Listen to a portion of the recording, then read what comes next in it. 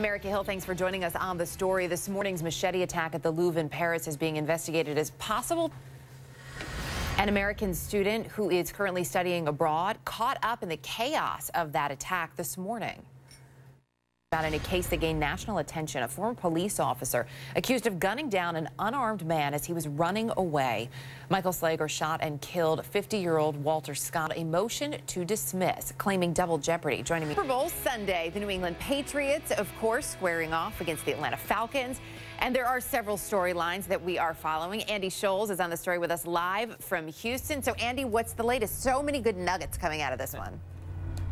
The First Lady's libel lawsuit against a British tabloid has been thrown out. Melania Trump filed that defamation. We look at this, and it was thrown out because of jurisdiction. Is that right? That's right. Jurisdiction is not the sexiest topic in the law, but it, believe it or not, it is a critical threshold issue that must be where the where the other person that you're filing against does business, or so how do you determine oh, that? Oh, the tangled web of civil procedure. As a general rule, uh, you'd be sued. You just can't you be just sued can't here. Maryland, right. right. exactly. And That's there is still this case ongoing in London, correct? That's right. And jurisdiction is going to be easier there in a case where the court. Harpley, um, that suit separately is allowed to move forward.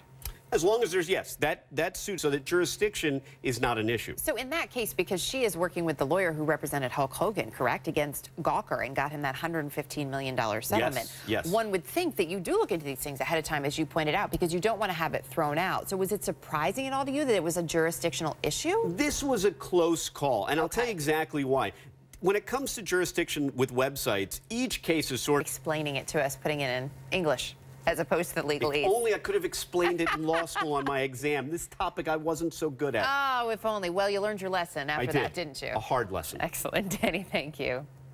Uh, HLN's new series, How It Really Happened with Hill Harper, takes a look, as you know, at the most notorious crimes, mysteries, and trials. Tonight, the spotlight is on the trial of the century, the show examining the new theories still emerging today about O.J. Simpson and the murders of his ex-wife and her friend.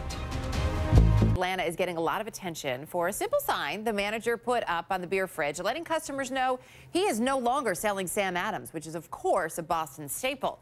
That move came in reaction to a column in the Boston New England. Of course, the Atlanta Falcons take on the New England Patriots this Sunday in the Super Bowl. Station manager Viral Chadwa plastered this sign up where you would normally find the Sam Adams. Station manager Viral Chadwa joins me now. Uh, great to have you with us. So Thank you, for you put me. this you put this sign up, having a lot of fun with it. Obviously, we see you've got a little rally going on there, yeah, little rise up yeah. action at the gas station. What have people been saying about that sign?